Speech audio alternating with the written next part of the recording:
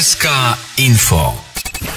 E, Za rok 2018 faktycznie Ministerstwo Finansów uruchomiło nową usługę pod nazwą Twój EPIT, gdzie to Urząd Skarbowy bierze odpowiedzialność za wypełnione zeznanie i jednocześnie to zeznanie w pewien sposób prawie że całkowicie wypełnia, oczywiście tylko o te dane, jakimi dysponuje. Więc w tym zeznaniu będzie informacja mm, o naszych dochodach, pobranych zaliczkach, a więc te wszystkie informacje, które są zawsze w PIT 11. Ym, I jeżeli mamy więcej niż jednego pracodawcę, to wszystkie te informacje już tam będą uwidocznione. Jeżeli y, dotychczas korzystaliśmy z ulgi z tytułu wychowywania dzieci y, i również urząd ma taką wiedzę, y, ile tych dzieci było wykazywanych w zeznaniu, to w tym zeznaniu będzie ta ulga uwidoczniona. Jeżeli przekazywaliśmy 1% podatku na rzecz wybranej organizacji pożytku publicznego, to organizacja, która była wymieniona w zeznaniu za rok 2017, również będzie uwidoczniona w tym zeznaniu za rok 2018. Jeżeli urząd nie posiada informacji przykład o poniesionych wydatkach z tytułu ulgi rehabilitacyjnej, to podatnik powinien uzupełnić to zeznanie o y, tą kwotę.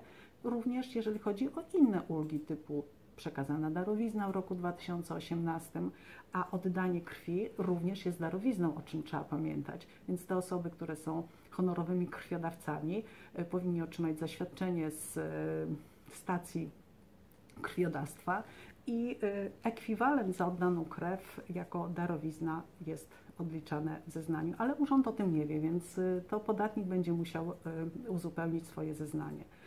Jeżeli ktoś jest, kto nie ma żadnych ulg, nie ma odliczeń i nie ma dopłaty ani nadpłaty, to może spokojnie czekać do 30 kwietnia i nic nie robić z tym zeznaniem, aczkolwiek należałoby sprawdzić, co, jaka jest zawartość tego zeznania.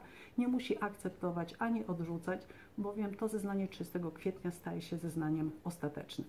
Więc generalnie te osoby, które czy samodzielnie chcą się, rozliczają się samodzielnie, nie mają ulg i odliczeń.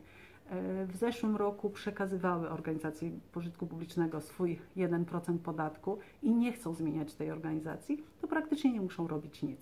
Natomiast te osoby, które chciałyby się rozliczyć ze współmałżonkiem, to muszą zaznaczyć odpowiedni kwadrat czy część tego zeznania wyrażającą zgodę na wspólne rozliczenie i uzupełnić o ewentualne ulgi, których w tym zeznaniu nie ma.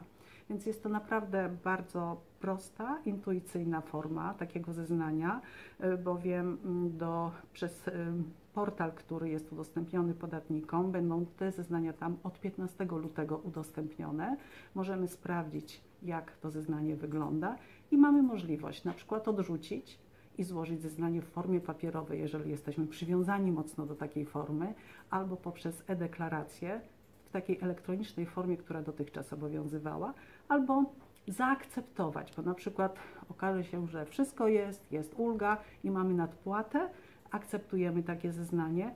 To jest ważne, bowiem od dnia akceptacji liczy się termin do zwrotu nadpłaty. I w tym roku te, termin do zwrotu jest zdecydowanie krótszy, bo wynosi tylko 45 dni, a dla rodzin z dużą kartą rodziny tylko 30. Więc to są duże korzyści dla podatników, którzy będą chcieli korzystać z tej nowej usługi. SK Info.